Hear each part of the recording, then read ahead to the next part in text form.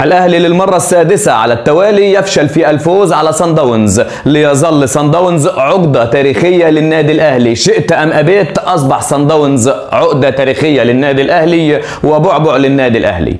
الأهلي يفشل في 180 دقيقة في إحراز هدف ضد صن داونز الأهلي بكامل نجومه الأهلي بتاريخه العريق. الأهلي بطولاته. الأهلي بإنجازاته. لا يجد مهاجم يليق باسم تيشيرت النادي الأهلي وشعار النادي الأهلي. علشان خاطر عندنا صلاح محسن عندنا موديست عندنا كهربا عندنا لعيبة لا تصلح إنها تلعب دوري مراكز الشباب. دول المهاجمين. أنا بتكلم في نقطة المهاجمين. النادي الأهلي عمل كل حاجة في المباراة. النادي الأهلي أضاع ولكن النادي الأهلي بتاريخه ده كله ما عندوش مهاجم يحرز هدف. نضيع كل الفرص ديت.